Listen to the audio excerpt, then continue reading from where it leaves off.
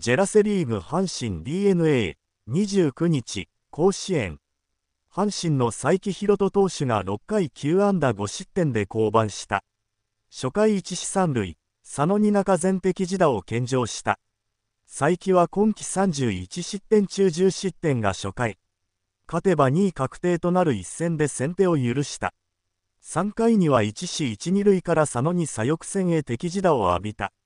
6回は無視満塁から宮崎に右中間を破る2点2塁打を許した。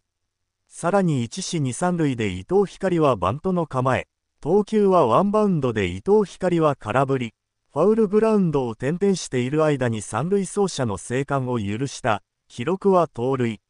セリーグ阪神 DNA、29日、甲子園。阪神の才木宏人投手が6回9安打5失点で降板した。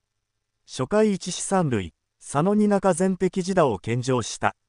才木は今季31失点中10失点が初回。勝てば2位確定となる一戦で先手を許した。3回には1死1、2塁から佐野に左翼戦へ敵自打を浴びた。